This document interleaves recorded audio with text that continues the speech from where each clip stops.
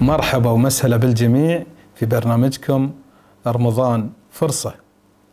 اليوم بنتكلم عن الخدم في بيوتنا. الخدم والعمال والسواقين وكل من يخدمنا. البعض منا يعني يتعالى صوته عليهم والبعض يضغط عليهم بالذات في شهر رمضان اللي إحنا فيه بكثرة العمل. فلا تنسون إن منهم مسلمين يصومون مثلنا ولهم صلاة ولهم طاعة ولهم قراءة قرآن. فلنرحمهم لأن إحنا في شهر الرحمة.